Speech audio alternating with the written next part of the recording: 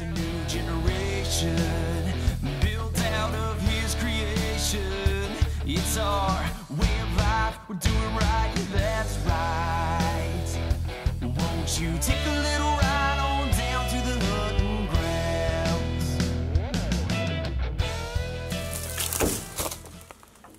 That scared the fire out of me. That squirrel came out of nowhere. Anyway, guys, welcome back to another vlog. I know you guys have been itching for more content, and as much as I'd rather just get out here and get this all cut and get it done, I'm going to document it and show you guys exactly what I'm doing. I'm out here on Big Buck Ridge, so it's a pretty narrow ridge. It's not very uh, wide up here at the top. You're looking at the, the widest section, you're looking at 30 yards across.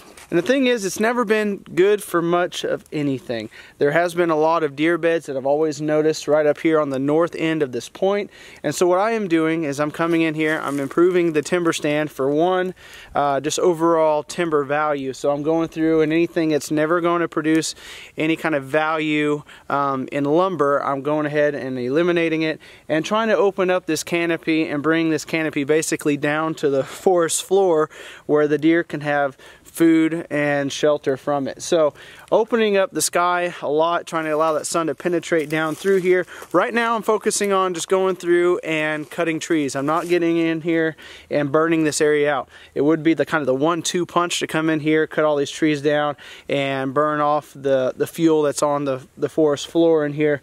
But right now I'm not focusing on that. Just by simply coming in here, cutting out these trees, allowing the sunlight to come through and penetrate um, the forest floor, I can promise you you we're going to get a lot more saplings growing up, some native uh, forbs and grasses, and probably just a little bit of everything that's going to really enhance the growth without even burning. Now, if I can burn it, can guarantee I'm probably going to do that. So I'm going to kind of walk you guys through this, show you what I'm looking at as far as the timber of what I'm cutting down and what I'm leaving, and just kind of show you a little bit of everything I do here.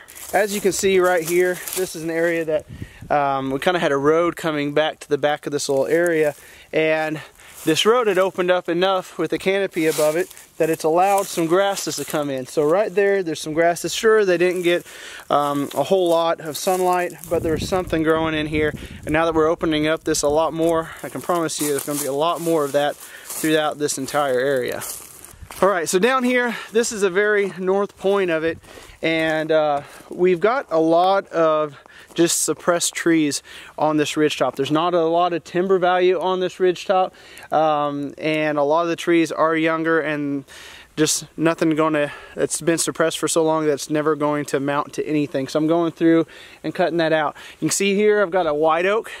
Um, that white oak right there, I'm actually going to be cutting it out. There's really no timber value in it. There's, there's not going to be any uh, lumber that's going to be able to be cut out of that and it's actually dead halfway up and it's broken off and it started to rot. And as you can see it's suppressed by this big white oak that's right here so you can see how it's um, up above. This one's kind of leaning out trying to reach out to that sunlight. So I actually need to take that one out. Um, got a walnut here that I actually left on the end of this point just kind of thinking at the, the long term because there's definitely going to be um, some really nice lumber that's going to be able to come out of that thing. It might be down the road quite a ways, but it's grown up nice and straight. I'm going to leave it. It doesn't really benefit the deer or anything, but I'm also looking at timber value.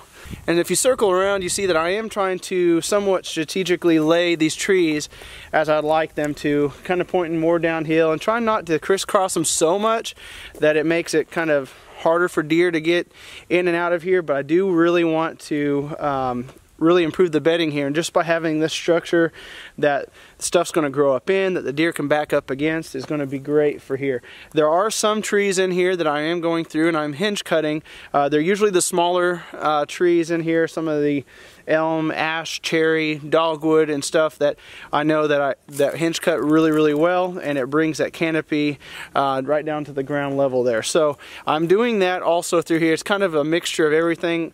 Uh, I just kind of know what I'm looking for, and like I said, I'm going to try to walk you guys and show you guys some of these trees um, as I'm cutting them down and why I'm cutting them down and doing what I'm doing. So this is a pretty big mess. It's actually kind of hard to get in here and see or find where I've hinge cut. Uh, what I've got right here is actually an elm tree, and it's a little elm. It's not very big there at the base, as you can tell, but I really like hinge cutting elms. They're just kind of a hardy tree that are always going to kind of bounce back so they're really easy to hinge cut.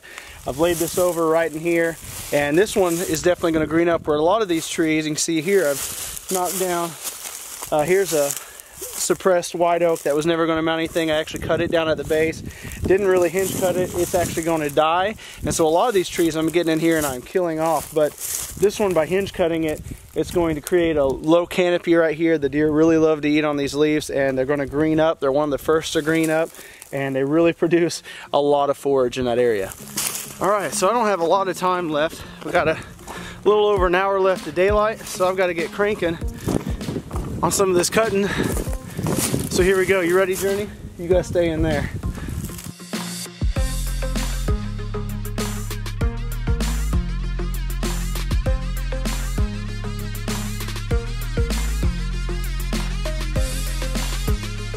Off, you need to excuse my dirty glasses. I want to show you guys what I'm fixing to start on right here. And then we'll get started. What I've got is a lot of submissive trees that have just been kind of squashed out by some of these larger producing trees here. And so to take off the pressure to make these trees less stressed, the bigger white oaks and the red oaks, so they hopefully can produce uh, more acorns and uh, just grow into a much healthier tree. I'm gonna go in and cut out a lot of these. Got a lot of hickory in here, have some submissive kind of like red oaks and white oaks. Right here, if I don't trip, is a pretty good tree to take out.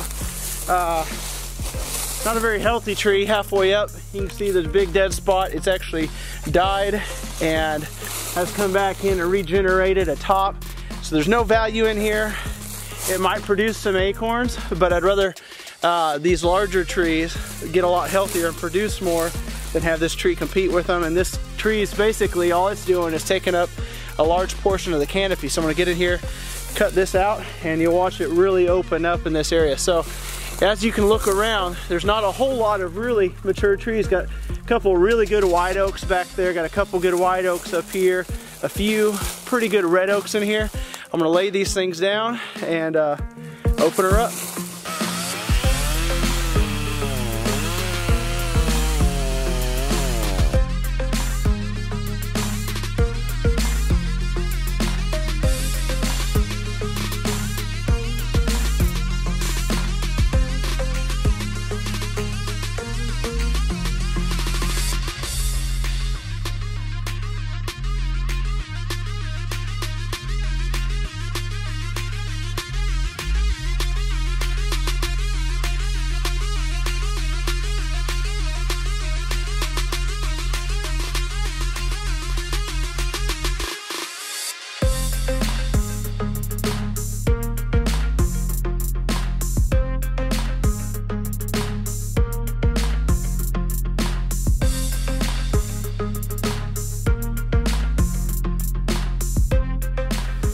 If you want a good workout, as you can tell, take a break, get out here and uh, just get on a chainsaw for an hour or two and it will wear you out, especially in these Ozark Hills. So as you can tell, it's really open back behind me. I've done a pretty aggressive cut in this area, um, but that's what it's gonna take to really have this part of the property benefit me. That's one thing I really love about smaller property is you can almost micromanage it and make it just so much more potent than larger property because you're getting in there and micromanaging these small little sections. You just got to be careful with the amount of pressure that you put in and that's why we're in here this time of year getting all this cut out. So actually looks really, really good. If you notice, um, there was times that I was dipping down towards the ground. I wasn't actually cutting into the ground or anything, but I go through and any grapevines that I see, I cut them at the base as much as I can. When that regenerates some growth, deer absolutely love it. And plus it helps keep that grapevine out of the canopy and suppressing the tree growth and, um, you know, covering up the ground with even more shade. Uh, majority of the cedars I completely eliminated in this area because as I'm going through knocking out a lot of these bigger trees and if I were to leave these cedars they would take up that area and actually just suppress the growth substantially underneath them. Um, we did leave one big cedar back here and that's probably because I'm going to use that for some timber down the road. It's just one cedar. One cedar's not going to hurt anything but um, in this little section that I cut here I probably cut, you know, close to 100 little cedars, anything from the size of my fist um, down a lot smaller than that. So it looks really, really good. It looks really open. Like I said, this is, there's a lot of suppressed, uh, tight, young growth in here.